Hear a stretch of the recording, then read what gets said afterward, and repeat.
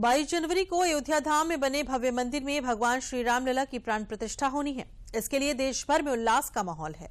देश भर से अयोध्या धाम के लिए भेंट भेजी जा रही है। इसी कड़ी में श्री कृष्ण जन्मभूमि से प्रसाद स्वरूप लड्डुओं का रथ भेजा गया।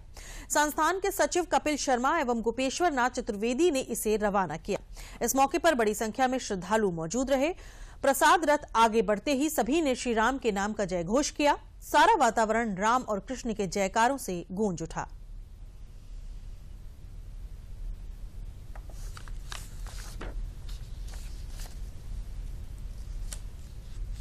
कि इस दिव्य दिवस के लिए लड्डू गोपाल की जन्मभूमि से, लड्डू गोपाल के प्रिय लड्डू रामलला के नैवेद्य के लिए भेजे जा रहे हैं।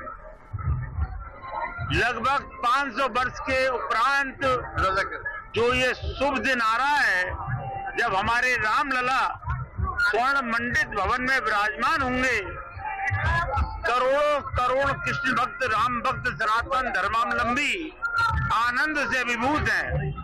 श्री कृष्ण जन्मभूमि राम में हो गई है। ठाकुर श्री केशव देव स्वयं राम रूप धारण कर रहे हैं। भक्त जो श्री कृष्ण की जन्मभूमि पर आकर राधे राधे बोलते थे, आज वो जय श्री राम, जय श्री राम का आज जय घोष कर रहे हैं।